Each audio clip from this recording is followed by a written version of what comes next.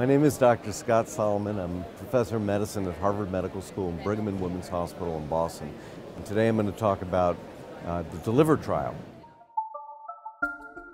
So, DELIVER is the largest trial that's ever been done in heart failure with mildly reduced and preserved ejection fraction.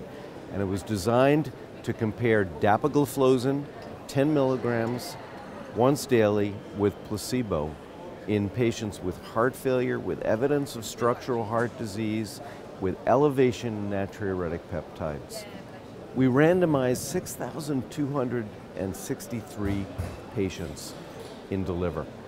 Uh, again, the largest trial ever been done in heart failure with preserved and mildly reduced ejection fraction. And we uh, also enrolled patients who were either ambulatory or in hospital. They could have been enrolled while in the hospital or recently hospitalized.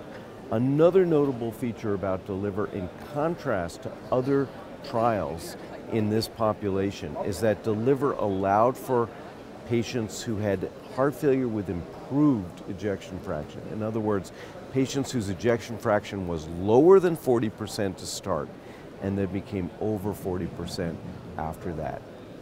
Well, the trial population was very typical of heart failure with preserved ejection fraction. The majority of these patients were New York Heart Association class 2. We had a median NT-proBNP of somewhere around 1,000. Um, we had uh, approximately 40% uh, women. We had a very good geographic distribution. The study was done in 350 sites and 20 countries. The, the trial was different from some of the earlier trials in heart failure with uh, preserved ejection fraction because our, our LVEF cutoff went down to 40%. In contrast, for example, to the Paragon trial or the TopCat trial, in which the cutoff was actually 45%. In addition, as I mentioned, we included patients who had had recovered or improved left ventricular ejection fraction. This is a group of patients who had never been studied in any other prior trial? Well, the, the, the, major subgroups that we've not tested in other trials are patients with heart failure with uh, improved or recovered ejection fraction. Um, that's completely new.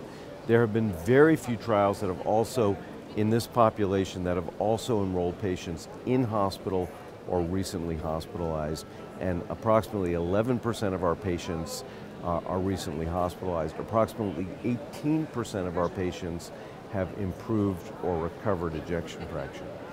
We have a very high proportion of Asian participants. It's, a, in the range of 20%. Again, uh, one of the highest proportion of Asian participants of any uh, clinical trial in heart failure with mildly reduced and preserved ejection fraction. Deliver met its primary endpoint.